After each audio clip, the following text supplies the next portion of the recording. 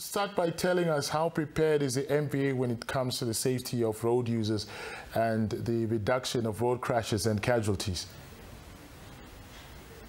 Thank you, thank you very much. Um, uh, first and foremost, I want to highlight that um, the first season uh, road safety campaign uh, is not uh, a project of, of the MVA fund only. Uh, it uh, includes all the players in the road safety um, and is spearheaded by the National Road Safety Council, who are the lead agencies when it comes to, to, to road safety in Namibia. At the moment, we are quite busy um, in preparation for, for the campaign. Uh, the campaign will be launched shortly. I think um, it's, it's, planned for, for, for, for, the, for, for launch on the 15th of this month. We are putting everything together. Um, and the National Road Safety Council will obviously make the necessary announcement um, as, as regards to the official launch. But uh, what I can say at the moment is that um, we are, together with stakeholders, um, busy with uh, putting together all the resources that are required for us to undertake the campaign. Uh, from the side of the MVA Fund, we will participate obviously in the educational campaign um, and also on the side of emergency response to ensure that all the roads are covered uh, either by our own ambulances or by state ambulances or by private ambulances, uh, those that will be ready to respond in events of crashes. Uh, what we what we do normally is we set up some satellite um, emergency bases. We will come back on that one as we are still uh, consulting with stakeholders. Uh, as part of um, preparations for towards the festive season campaign, there will be a campaign uh, um, uh, in Erongo, Swakopmund and Walvis Bay, uh, campaign targeting truckers or truck drivers, looking at fitness, but also looking at issues of fatigue uh, and the wellness of, of truck drivers, but also educating them on how to be safe on the road. Uh, that campaign is on the 7th of this month. I think that, that will be this week, mm-hmm. uh, going up to up to 8. Uh, there are also other events happening. but all in all, that is what we are doing to prepare uh, for the festive season campaign. And we are, at this point, really just um, inviting all our stakeholders, inviting public and private sector uh, to please uh, assist in, in providing resources to the campaign. We will knock at few doors. We will send out some requests for those that traditionally have assisted us before, but also looking at some new sponsors. So uh, that is really basically what, what we are busy with at the moment. Right. Ruben, if you can perhaps maybe just share with us, uh, if you look at the statistics in terms of the casualties that we have on the road, what perhaps is the most prominent cause? Is it uh, drivers uh, operating vehicles under the influence of alcohol? Is it fatigue? Is it vehicles that are not supposed to be on the road? Uh, just give us maybe just a down, uh, uh, you know, a download on on what the major causes are of some of these accidents, and especially in the festive season. Yeah, a, it's a combination of a few. Uh, I think the, the bottom line is that um, um, over 70% of, of crashes are caused by, by human behavior. I think uh, that is a result of the research that we have conducted um, in recent years. And um, uh, behavior means that we are uh, on the road uh, transgressing uh, road traffic rules. We, we are speeding. Uh, there are those that are drinking under the influence of alcohol, and alcohol is prevalent uh, during the festive season, obviously, and alcohol also has an influence on other causes of, of, of, of crashes. So uh, it can also be fatigue during the festive season at high level because those that are in the business of, of public passenger transport and, and uh, transporting of goods are trying to maximize, uh, especially on passengers, because this is the time that people are flocking mainly from the cities uh, going to different destinations for holidays. Uh, it's also the time for school holidays and those that are in passenger transport uh, for business are really trying and they are not resting enough. So it's speeding, it's overloading, it's fatigue, uh, it's failure to use safety belts, but also um, distraction. Say, for example, uh, the use of, of mobile phones while driving uh, reckless and negligent driving, inconsiderate driving. Those are all some of the causes of, of, of, of crashes that we observe during the festive There are those who argue, there are those who argue that perhaps you know there, there, must be a law that must be introduced to say if you haven't had your license for more than five years, for example, you shouldn't be driving on you know on on, on, on the highway, for example, long distances, uh, suggesting that you know sometimes inexperience also uh, causes, or rather also contributes to some of the accidents that we see on our roads. Uh, what are your thoughts around that? And is there perhaps maybe a correlation between how long somebody has been having their driver's license and their behavior on the road in terms of perhaps calculating a distance if they want to uh, overtake a vehicle?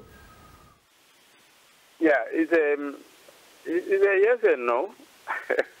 there is quite a few of, of, us who are driving more than 50 years that uh, are still uh, causing crashes. Mm -hmm. But obviously, the issue of novice drivers is, is a very important one. Um, of course, there is no uh, uh, legislative uh, limitations as to how many years you should have before you drive on the highway or before you you carry passengers and so on, or you drive long distance. There is no such a thing. But um, it's, it's, it's, it's something that can be considered.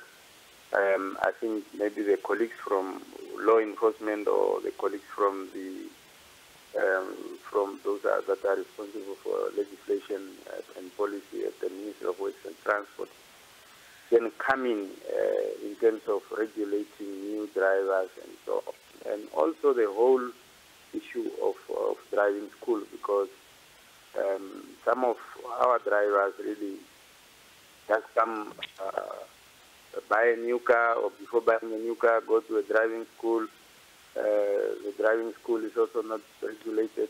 It's a normal driver who buys a car to try to make a living and so on.